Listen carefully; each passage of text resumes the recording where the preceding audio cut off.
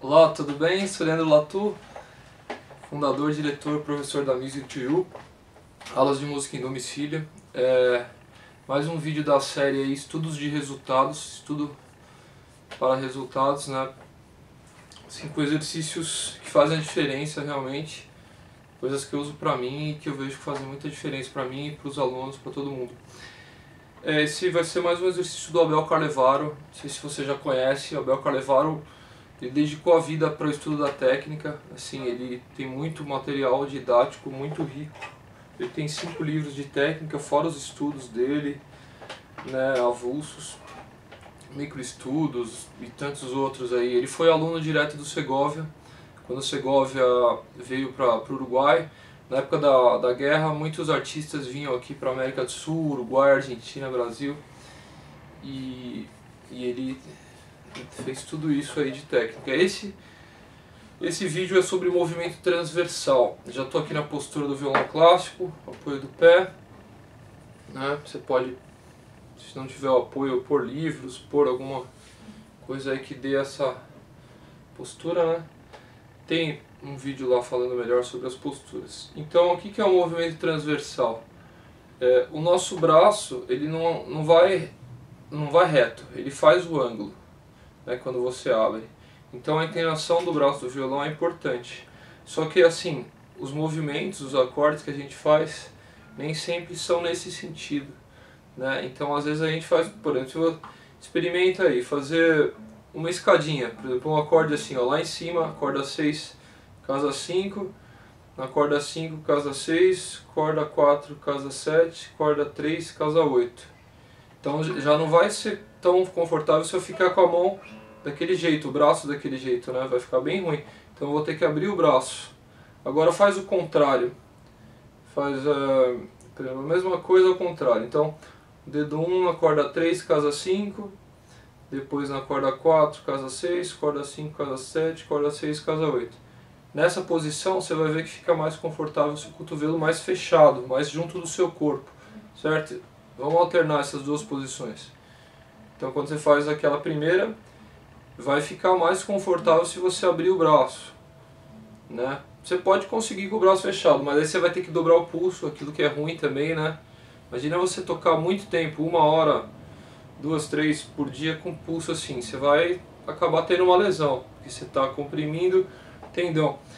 É, o pessoal fala, você tem que tocar sempre com um movimento mais natural do seu corpo. Como você pega uma mala, né? Você pega reta, sim, você pega dobrando o pulso aqui.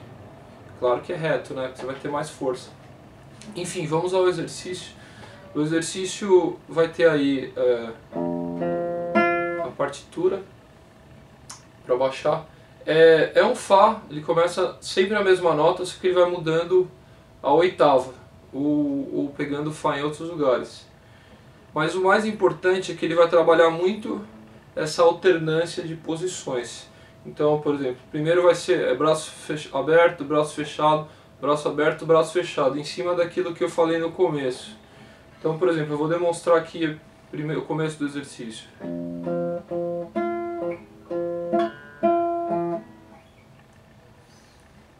Então, vou demonstrar agora o começo do exercício.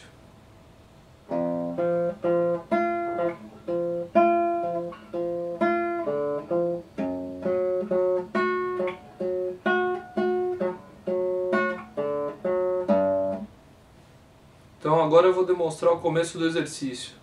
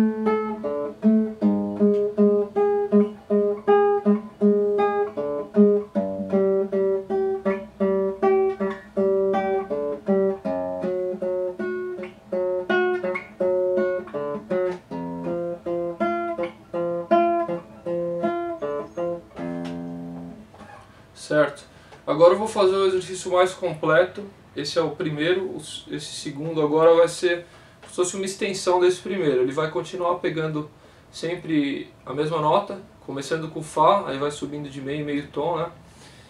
É, esse primeiro subiu do Fá até o Si, até começando na casa 7. Esse agora vai do Fá até o Lá, casa 5, só que ele vai estender mais as oitavas, ele vai pegar até uma nota mais aguda. Então vamos para o segundo exercício.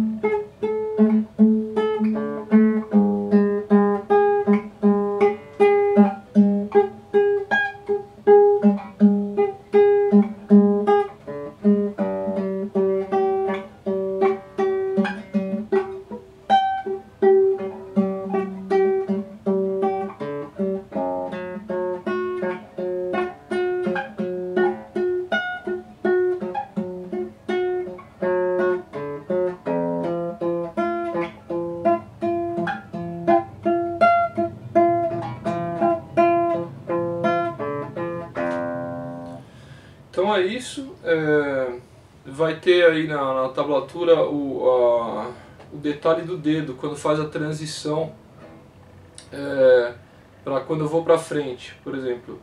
Nos, nos dois exercícios vai ser igual isso daí. Ó, eu acabei, aí eu vou tocar a corda 4 solta e eu vou tocar a mesma nota que eu tava, que era o Fá, só que com o dedo 2 aqui. Eu tava terminando com o 3 eu toco a corda 4 com o dedo 2 e aí não, toco, desculpa. Terminei aqui no Fá com o dedo 3, aí eu vou tocar a corda 4 solta e vou tocar o mesmo Fá com o dedo 2. Que aí, desse, dessa forma, meu dedo 1 já vai cair ali no Fá sustenido, a próxima nota, certo? Então, o final do exercício, ó. E aí continua sempre a mesma lógica. Terminou? 0, 2. Ok, eu continuo, eu vou estar sempre preparando para a próxima. Na volta, é, os dois exercícios também a mesma, mesma lógica na volta. É, vou fazer aqui na casa 3, o Sol. Então estou terminando, eu vou ali. Agora eu, vou, eu tô com o dedo 3 na nota, que é o Sol no caso. Vou tocar a corda 4 solta e agora eu vou tocar com o dedo 4, o mesmo Sol. Porque assim a minha mão já vai ficar no jeito para voltar. Pra, o dedo 1 já vai estar tá na posição para tocar o Fá sustenido. E aí eu vou fazer a volta. Ó, 0,4, certo? Então quando vai para frente 0,2, quando volta 0,4. É, tem mais um detalhe aí. É mais isso mesmo, né? Então eu, eu, tentei, eu puxei a blusa aqui, tá frio hoje aqui em São Paulo. É, mas inclinar muito o braço, tentar não dobrar o pulso, finge que tem um cimento aí, eu penso assim, é, e não ficar dobrando o pulso, porque senão você perde isso. Então é, é isso, é tocar, tá tocando músicas difíceis, né? Então tem que trabalhar mais o braço. Às vezes a gente erra uma música, não consegue, fica frustrado, revoltado. Mas às vezes é, tem que ver, não é só o dedo. O dedo é a ponta do iceberg. Tem que trabalhar polegar, que também é o dedo, mas fica atrás. O braço, antebraço, o braço, o ombro, né, essa movimentação, a angulação. Tanto que você vê aí pessoas de diferentes tamanhos que tocam bem violão, mais baixos, é, mais pesados, mais altos, mais, né, não tem, não tem limite. É, às vezes a pessoa tem o, a mão menor, mas ela tem uma flexibilidade que ajuda, tem uma postura, uma movimentação ali que ajuda. Ok? É, se você gostou, aí se inscreve no canal para você receber os vídeos em primeira mão é, dê um comentário, crítica, sugestão de novos vídeos, sua opinião é muito importante. Sou Leandro Latu, é, coordenador e professor da Music Tool, tem, a gente tem aulas online e aulas presenciais em São Paulo, em domicílio. Ok? É isso, bons estudos e um abraço.